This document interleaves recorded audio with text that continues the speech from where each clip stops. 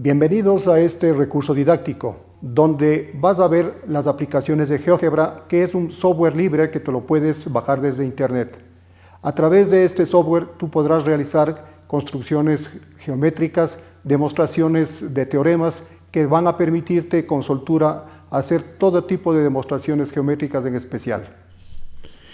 Vamos a ver a continuación la aplicación de este programa en la construcción del punto medio y mediatriz de un segmento, para lo cual haremos los siguientes pasos. En primer lugar, vas a ocultar los ejes de coordenadas y mostrar una cuadrícula que te ayudará a elegir puntos en el dibujo más fácilmente. Para ello, haz clic en Vista Gráfica. Segundo, se mostrarán dos iconos pequeños. Si haces clic en el de la izquierda, desaparecerán los ejes de coordenadas. Si haces clic otra vez en él, los ejes volverán a aparecer. El icono es como el interruptor de luz. De manera similar funciona el otro icono. Este sirve para mostrar u ocultar la cuadrícula. Ahora vamos a dibujar el segmento AB, cuyo punto medio vamos a construir.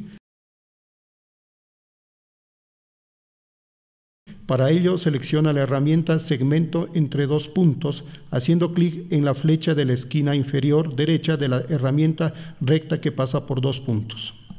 Hacemos clic en Segmentos entre dos puntos.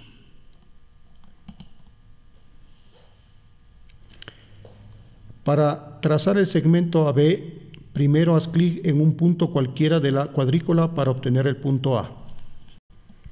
A continuación, haz clic en otro punto cualquiera en la cuadrícula, obtendrás el segmento AB. Ahora vas a trazar la circunferencia de centro A y radio AB. Para ello, selecciona la herramienta circunferencia dado su centro y uno de sus puntos haciendo clic en el icono correspondiente. A continuación, haz clic sobre el punto A y luego sobre el punto B. Observarás que a medida que desplazas el cursor de A a B, se va produciendo la correspondiente circunferencia hasta obtener el siguiente dibujo.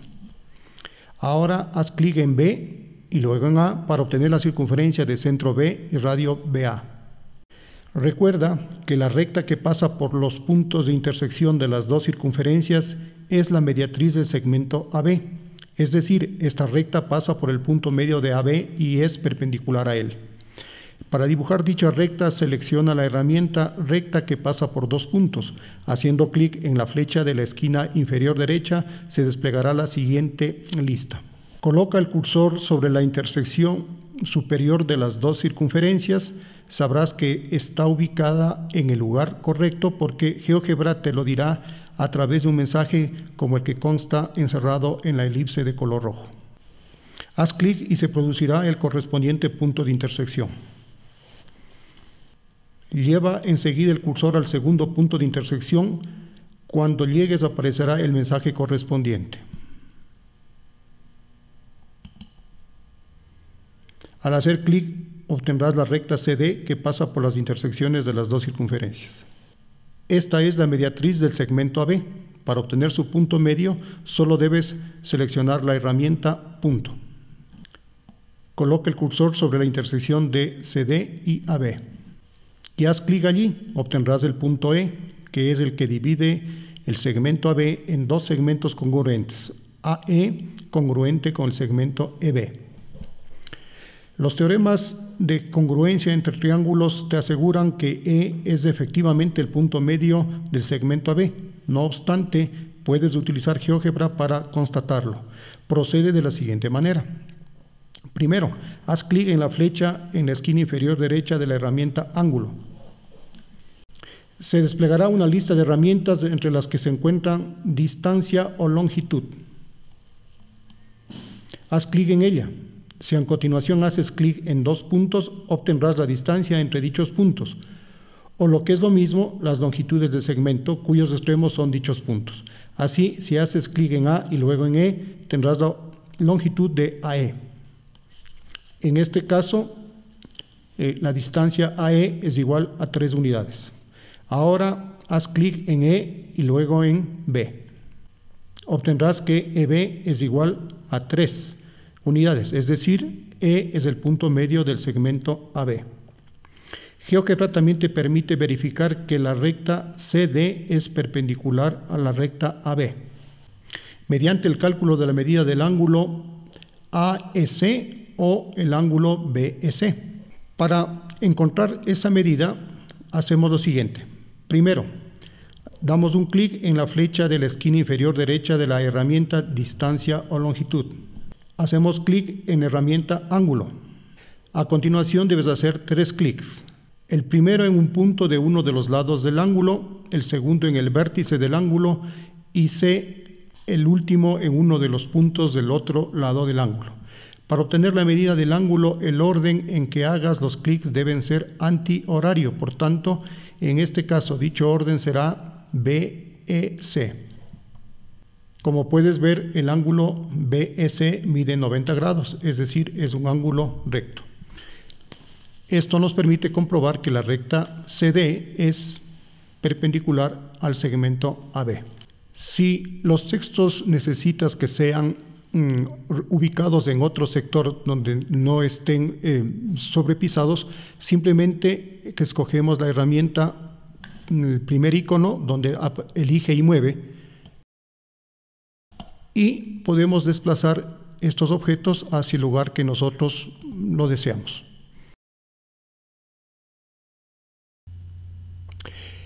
Puedes además con esta mm, representación eh, geométrica gráfica eh, realizar demostraciones eh, que son animadas.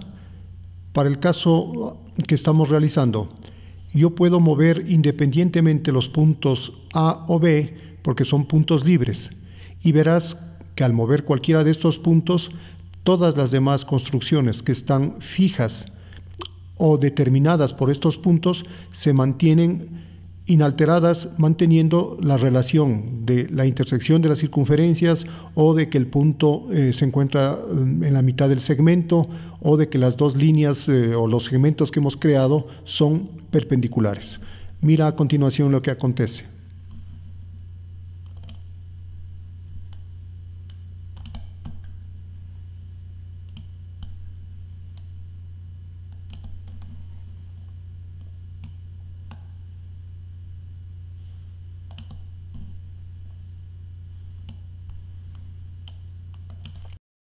Si necesitas que tu construcción darle mayor em, animación, puedes a los diferentes elementos eh, trazados darles eh, diferente color, diferente tipo de trazo. A continuación veremos cómo podemos cambiar el color de las circunferencias que vienen a ser trazos auxiliares en la construcción que hemos hecho. Míralo. Aparece remarcada la circunferencia D. En en la esquina superior izquierda aparece un recuadro donde están los diferentes colores que podemos utilizar. En este caso escojo un rojo, el tipo de línea puede ser esta por ser un trazo auxiliar y simplemente queda aplicada a, esta, a este elemento. Lo mismo podemos hacer con la circunferencia C. cambio de color, cambio el tipo de mm, línea y aparecen las eh, dos circunferencias que son auxiliares con los diferentes colores. En el caso en que hayas cometido algún error en la mm, esquina superior derecha, tienes eh, los iconos que te permiten deshacer o rehacer cualquier eh, trazo anterior que, que has ejecutado.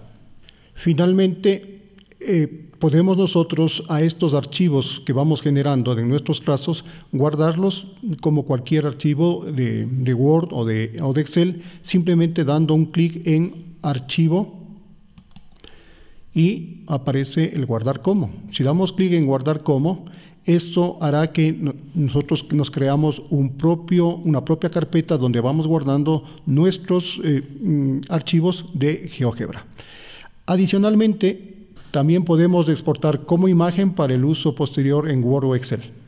A través de este video hemos querido simplemente darles un pequeño incentivo para que ustedes visiten y profundicen este software que les va a permitir dar satisfacción a las construcciones geométricas, a las demostraciones de teoremas que son tan importantes para el mejor aprendizaje y comprensión de sus estudiantes.